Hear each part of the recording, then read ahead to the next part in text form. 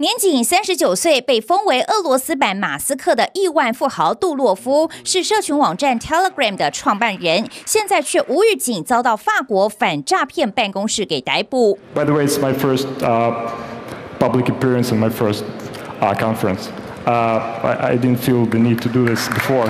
杜洛夫年轻多金，但是作风神秘，鲜少露面。他所创办的 Telegram 在全球有九亿活跃用户，现在被法国指控平台监管措施不足，导致洗钱、诈欺等犯罪猖獗。但是 Telegram 也发声明反驳，表示平台遵守欧盟法律，而且杜洛夫所作所为毫无隐瞒。俄罗斯更指控这是政治迫害，批评法国对俄罗斯的抗议已读不回。Российское посольство во Франции потребовало у французских властей незамедлительного разъяснения причин задержания Павла Дурова.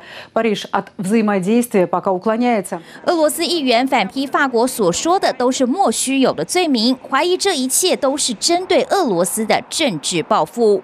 Elon Musk is free, Mark Zuckerberg is free, but Pavel, Pavel Durov is now in prison. Why? Because he's Russian. That the freedom of speech in Europe is dead. 在进行言论管控的俄罗斯议员却批评法国逮捕杜洛夫代表欧洲言论自由已死，而马斯克也在 X 平台上连发三次法文的“自由”一词，似乎就是在声援杜洛夫，希望法国尽速将他给释放。但由于目前调查还在进行中，有可能转交检察机关或是延长拘留，势必又会让法俄之间外交紧张再次升温。